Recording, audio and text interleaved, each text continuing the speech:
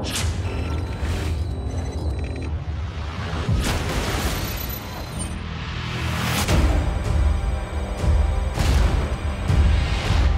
We have a new DLC map pack coming out on May 3rd. It's called Escalation. It includes four multiplayer maps. Hotel, Convoy, Zoo, and Stockpile, as well as a, another installation of our zombies named Call of the Dead. With every map pack that we add to the game, it's very important to us that we provide a lot of variety to players. Zoo takes place in an abandoned Soviet zoo. It provides a lot of Overwatch positions. There's a monorail that runs throughout the entire zoo. A good tip for Zoo, I would say, would be to get on the monorail. If you can get up there, you can walk around most of the level. It's a great advantage point.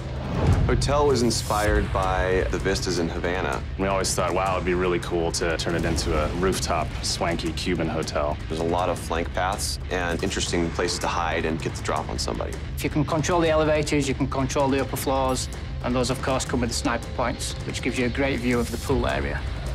Convoy's inspired by old school Americana related to fears of Soviet invasion of the time. We have a United States convoy that was hit by a Soviet ambush. Snipers will enjoy this map, but running gunners will have no problem getting around the map really quickly. Throw a couple of grenades down there through the damaged floor in the bridge. Stockpile probably offers the most variety across all the four maps. We wanted to present a suburban village in Russia, uh, but we also wanted to give it a Cold War theme by having a stockpile of armaments there. Operational garage doors protect the middle building, and the middle building is kind of the heart of the map. When people are paying attention to their team, they'll be able to coordinate when the doors are open and when they're closed. Get in there, get those doors shut, and then you can pretty much lock that building down. From the game's launch, the community was pretty vocal about their desire to have a wider range of engagement distances. So we've been very sensitive to that with First Strike.